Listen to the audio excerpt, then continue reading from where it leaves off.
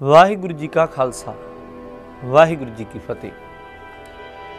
ਅੱਜ ਦਾ ਇਤਿਹਾਸ ਲੈ ਕੇ ਆਪ ਸਿੱਖ ਸੰਗਤਾਂ ਦੇ ਸਨਮੁਖ ਹਾਜ਼ਰ ਹੋਇਆ ਹਾਂ।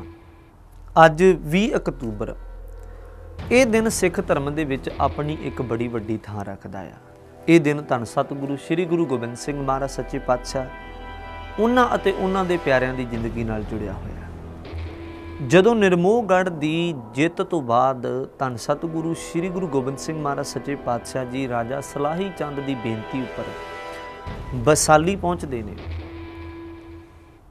ਰਸਤੇ ਦੇ ਵਿੱਚ ਇਸ ਗੱਲ ਬਾਰੇ ਪਤਾ ਲੱਗਦਾ ਹੈ ਅਜਮੇਰ ਚੰਦ ਨੂੰ।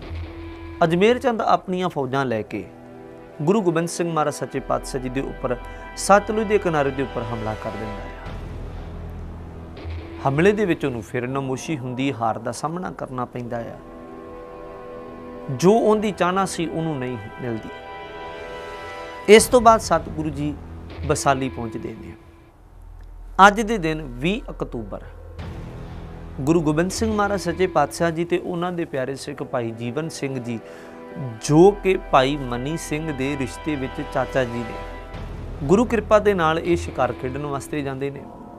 ਸ਼ਿਕਾਰ ਖੇਡਣ ਗਿਆ ਨੂੰ ਇੱਕ ਬਗਿਆੜ ਦਾ ਪਿੱਛਾ ਕਰਦਿਆਂ ਕਰਦਿਆਂ ਇਹ ਕਲਮੋਟ ਨਗਰ ਦੇ ਵਿੱਚ ਪਹੁੰਚਦੇ ਨੇ। ਉੱਥੋਂ ਦੇ ਰਹਿਣ ਵਾਲੇ ਗੁੱਜਰ ਤੇ ਰੰਗੜ ਇਹਨਾਂ ਦੇ ਉੱਪਰ ਹਮਲਾ ਕਰ ਦਿੰਦੇ ਨੇ।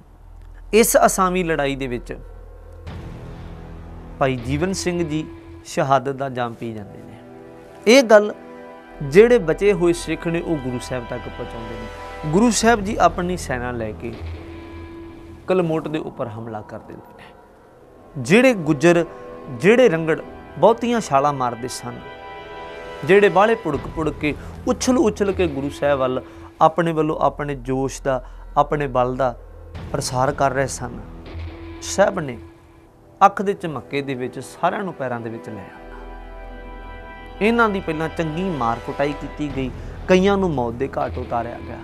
ਜਦੋਂ ਵੇਖਿਆ ਗੁੱਜਰਾਂ ਤੇ ਰੰਗਣਾ ਨੇ ਕਿ ਸਾਡਾ ਬਹੁਤ ਨੁਕਸਾਨ ਹੋ ਗਿਆ ਆ, ਹੁਣ ਸਾਡੇ ਤੋਂ ਇਹ ਨੁਕਸਾਨ ਚੱਲਿਆ ਨਹੀਂ ਜਾਣਾ ਉਹ ਹਾਰ ਕੇ ਗੁਰੂ ਸਾਹਿਬ ਦੇ ਚਰਨਾਂ ਵਿੱਚ ਡਿੱਗ ਪਏ ਕਿ ਸਾਨੂੰ ਮਾਫ ਕਰ ਦਿੱਤਾ ਜਾਵੇ।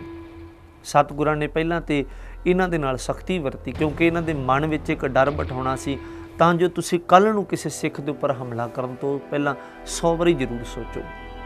ਇਹ ਸਾਰੇ ਫਿਰ ਕਲਮੋਟ ਦੇ ਜਿਹੜੇ ਬੱਚੇ, ਬਜ਼ੁਰਗ, ਬੀਬੀਆਂ ਨੂੰ, ਉਹਨਾਂ ਨੂੰ ਅੱਗੇ ਕਰਕੇ ਇਹਨਾਂ ਗੁੱਜਰਾਂ ਤੇ ਰੰਗਣਾ ਨੇ ਅੱਜ ਦੇ ਦਿਨ ਗੁਰੂ ਸਾਹਿਬਾਨ ਤੋਂ ਮਾਫੀ ਮੰਗੀ। ਇਹ ਦਿਨ ਸਿੱਖ ਕੌਮ ਦੇ ਬਹੁਤ ਹੀ ਸਤਿਕਾਰਯੋਗ ਭਾਈ ਜੀਵਨ ਸਿੰਘ ਦੀ ਉਹਨਾਂ ਦੀ ਸ਼ਹਾਦਤ ਦੇ ਨਾਲ ਜੁੜਿਆ ਹੋਇਆ ਆ, ਜੋ ਕਿ ਗੁਰੂ ਘਰ ਬੜੀਆਂ ਵੱਡੀਆਂ ਸੇਵਾਵਾਂ ਨਿਭਾਉਂਦੇ ਸਨ।